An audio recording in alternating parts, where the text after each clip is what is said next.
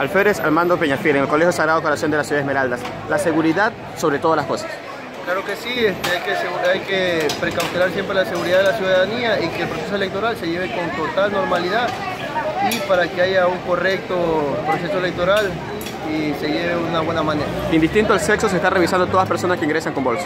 Indistinto, eh, raza social, eh, al sexo, toda, eh, toda persona que ingresa al recinto electoral tiene que ser requisada si trae una maleta o un bolso. ¿Por qué razón?